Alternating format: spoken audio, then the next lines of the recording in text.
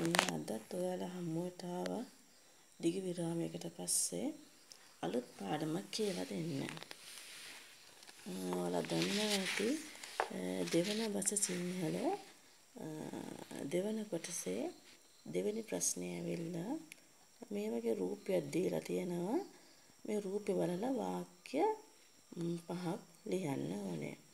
සාමාන්‍යයෙන් Eh, ළමයි වාක්‍ය පහක් නෙවෙයි හය හතක් වුණා ලියන්න ලෑස්ති. ඒ ඒ වාක්‍ය ලියුවට මොකෝ ගොඩක් වැරදි තියෙනවා. අපි ඉස්සරෝම බලමු ඒ වැරදි මොනවද කියලා. ඊටත් කලින් බලමු මේක මේ මේ රූපෙන් වාක්‍ය දන්නකොට මොන කාලෙන්ද ලියන්න ඕනේ කියලා. සාමාන්‍යයෙන් අපි මේ වගේ රූපයක් දුන්නොත් ලියන්න ඕනේ වර්තමාන කාලේ. මේ වගේ රූපයක් දුන්නොත් අපි ලියන්න ඕනේ වර්තමාන කාලය. නිහල් කාලත්තාල් එල්ද වීන්ඩම්. ඊට පස්සේ මගේ ගැන පොඩි පැහැදිලි කිරීමක් කරන්න. ද වර්තමාන කාලය තියෙනකොට පණ තියෙන පදයක් ආවොත් ඒ කිව්වොත් ප්‍රාණවාචී පදයක්. උයුරුල්ලවේ பிராணவாச்சி ஏகவச்சன පදයක් උயிருල්ල උරුමේ සොල්ලන්ඩු වන්දාල්. ක්‍රියාව හැම වේලෙම ඒක වචනෙන් තියන්න ඕනේ. ඔයාලා ඒක ඉගෙනගෙන තියෙනවා. ඒක වචනෙන් තියෙනකොට ඔයාලා ඉගෙනගෙන තියෙනවා කාලපාඩමේ ක්‍රියාව යී වලින් අවසන් වෙන්න ඕනේ. නැත්තම් උන් නේය කියලා අවසන් වෙන්න ඕනේ. බැරි වෙලාවත් ස්ත්‍රීලිංග පදයක් ආවොත් பெண்பால் சொல்லொன்று வந்தால் இன் நீய ඊ අල්ලද ඉන් නීය ඒක වචන පදයක් ආවොත් ඊ නැත්තා ඉන්නේය ஒருமை சொல்லொண்டு வந்தால் ஈ அல்லது இன் நேய ස්ත්‍රීලිංග පදයක් ආව කියමුකෝ ඒක වචන இது ஸ்ரீலிங்க ஒருமை ஆனாலும் அது வந்து ඔවුරු පෙන්පල් ශොල්ලොන්ඩ. එතකට මොකද කරන්නේ? ඊ අල්ලද ඉන් නීය. යයි යන්නේය. අද පෙන්පාලහාවන්ද යයි යන්නේය. ඊට පස බලමු බහු වචන පදයක් අවොත් පණ තියෙන බහු වචන පදයක් අව ප්‍රාණවාචි. උයුරුල්ල පන්මේ ශොල්ලොන්ඩ වන්දා. තී නැත්ත ඉන් නෝය කියලා ක්‍රියාව ඉවර වෙන්න ඕනේ. ති නැත්ත ඉන් නෝය කියලා ක්‍රියාව ඉවර වෙන්න ඕනේ. යනවා කියලා ආවොත් යති නැත්ත යන් නෝය. ඔයාලට තේරිලා ඇති කියලා මං හිතනවා කාලපාඩුවේ මං ඔයාලට මෙවුවා පැහැදිලි කියලා දීලා තියෙයි. මොන කාලෙන්ද අපි මේ වාක්‍ය ලියන්න ඕනේ වර්තමාන කාලෙන්. ඊට පස්සේ ළමයි වරද්දන තැන තමයි පණ නැති පදයක් ආවොත් අප්‍රාණ වාචී උයර් අත්‍රවේ මේ පාඩ මම ඔයාලට මේ වෙනකන් කියලා දීලා නැහැ පණ නැති පදයක් ආවොත් මොකද කරන්න ඕනේ? ඒක ඒක වචන වුණත් බහු වචන වුණත් ඒක වචනෙමයි ක්‍රියාව තියන්න ඕනේ. උයර් අත්‍රොල් සොල්ලොඬ වන්දා විනේ ஒருமையா உயிரற்ற சொல்லொண்டு வந்தாக்கா எழுவாய் ஒருமையாய்ந்தாலும் பன்மையாய்ந்தாலும் வினை ஒருமையிலே வைக்க வேண்டும் එතර කොහොමද ඉවර කරන්න ඕනේ යේ නැත්තා ඉන්නේය යේ නැත්තා ඉන්නේය යේ අල්ලද ඉන්නේය ඔයාලා තේරලා ඇති කියලා මම හිතනවා දැන් අපි ඊට පස්සේ තව ළමයි කරන ඊට වැඩිය ලොකු වැරද්දක් තමයි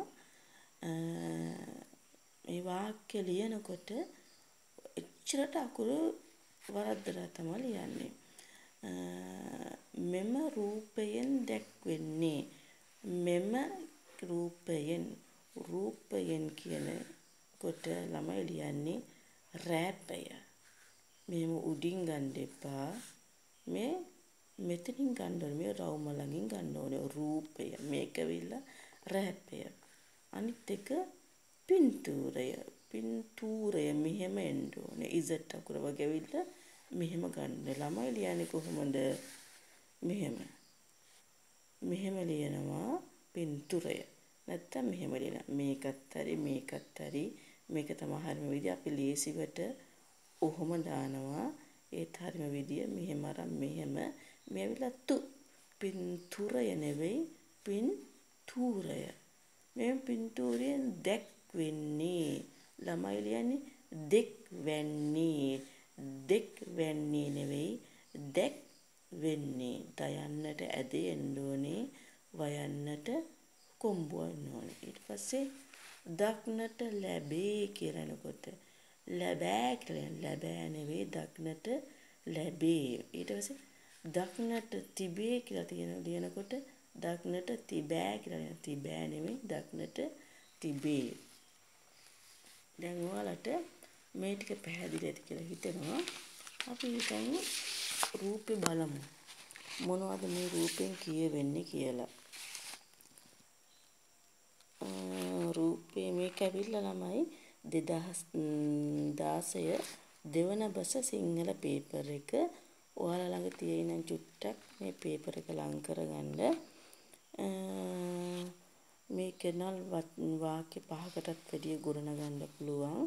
ඔයාලට පේනවා ඇති මේ පින්තූරයෙන් පේන්නේ අපට අවුරුදු උත්සවයක දර්ශනයක්. මෙතන එක්කෙනෙක් මොකද කරන්නේ? කනා මුට්ටිය විඳින්න ලෑස්ති වෙනවා. තව එක්කෙනෙක් ඔන්න ලිස්සන ගහේ නැගෙන ඉන්නවා. ඊට පස්සෙන් තවත් එක්කෙනෙක් ලිස්සන ගහේ නගිනවා. මේ මිනිස්සු මෙතන කෑ ගහනවා වගේ පේනවා. මෙතන කට්ටියක් දුවනවා. අන්න මෙතන බලන්නකෝ. ලවුඩ් ස්පීකර් තියෙනවා. මොකද්ද කියන්නේ මේකට? ශබ්ද විකාශන යන්ත්‍රයක් තියෙනවා. දැන් අපි මේක තියලා වාක්‍ය හදමු. ඉස්සරවම අපි ලියන්න ඕනේ මේ වාක්‍යයෙන් අපට ප්‍රධානව මොකද්ද පේන දර්ශනය කියලා. කොහොම ලියන්නේ මෙම රූපයෙන් දැක්වෙන්නේ අවුරුදු උත්සවයක දර්ශනයකි. දර්ශනයක් කියලා ගන්නත් පුළුවන්. ඒ වුණාට ළමයි දර්ශනයක කියලා ලිව්වොත් ඒ වාක්‍ය ලස්සනයි. ඒ වගේම මෙතන සමහර ළමයි ලියන මේ රූපයෙන් දැක්වෙන්නේ වැරදි නෑ. ඒත් මෙම කියලා ලියුවොත් එතනත් ලස්සනයි. මෙම රූපයෙන් දැක්වෙන්නේ කියන්නත් පුළුවන් නැත්තම් පෙනෙන්නේ කියන්නත් පුළුවන්. කොම්බුවප කොම්බුවන පෙනෙන්නේ පෙනෙන්නේ නැත්තම් මෙම රූපයෙන් දිස්වෙන්නේ අවුරුදු උත්සවයක දර්ශනයකි. මේක චුට්ටක් ඔයාලා ඕන ලියලා තියාගන්න සාමාන්‍යයෙන් ඕනම් මේ බින්තිරයක් දුන්නොත් මේ මේ මේව තමයි වාක්‍ය පටන් ගන්න ඕනේ. මෙම රූපයෙන් දැක්වෙන්නේ කියමුකෝ වැසි දිනයක දර්ශනය කියලා. වැසි දිනයක දර්ශනයක දර්ශනය කියලා ලියන්නේ මෙහෙමයි. තාල්දේශ දන්තජ ඊට පස්සේ එක්කෙනෙක් කනා මුට්ටියට ටියට ගසමින් ඉන්නවා.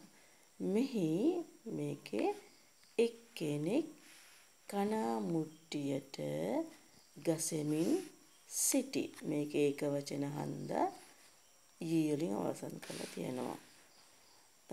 තවද දෙදෙනෙක් ලිස්සන ගහෙහි ගහෙහි ගස් ගහෙහි නගිමින් සිටිති. දෙදෙනෙක් කිව්වොත් බහුවචන පන් මේ හන්දා තී වලින් අවසන් වෙලා තියෙනවා. මෙම රූපයෙහි බොහෝ දෙනා දිවීමේ තරගයට සහභාගී වී සිටිති. ඔයාලට පේනවා ඇති මේ දුවන තරගයට ගොඩාක් අය සහභාගී වෙලා ඉන්නවා. මේ තරගයට බොහෝ දෙනා දිවීමේ තරගයට සහභාගී වී සිටිති. බහුවචනයන්ට තී වලින් අවසන් කරලා තියෙනවා. මෙහි ඉංග එක් පැත්තක ශබ්ද විකාශන යන්ත්‍රයක් ලවුඩ් ස්පීකර් හොඳට බලන්න ශබ්ද විකාශන යන්ත්‍රයක් දක්නට තිබේ. තිබෙනවා තියෙනවා කියලා හැම ලියන්න එපා. තිබේ කියලා ලියලා හුරු වෙන්න. අනිවාර්යයෙන්ම ලියන භාෂාවෙන් ඔයාලා මේක ලියන්න නැත්තම් දක්නට ලැබේ කියලා ලියන්න. ඔයාලට පැහැදිලි ඇති කියලා මම හිතනවා. මේ වගේ වීඩියෝ නම් මම ඉදිරියට ගන්න බලාපොරොත්තු වෙන්නේ සාමාන්‍යයෙන් ළමයි මේක කරනවා ඔයාලගේ මේ වැරදි තැන් හදාගෙන ඉදිරියට යන්න මේ මොනවා හරි වරට අමාරු තැන් තියෙනවා නම් මීට ඉස්සර දැන් ඒ 2017 18 ප්‍රශ්න වල තියෙන රූප වලින් වාක්‍ය හදන්න අමාරු නම් මට කමෙන්ට් කරන්න මම මේ වීඩියෝ දාන්න. එහෙනම් තවත් වීඩියෝ එකකින් හමු වෙනතුරු ඔයාලා හැමෝටම සුබ දවසක්.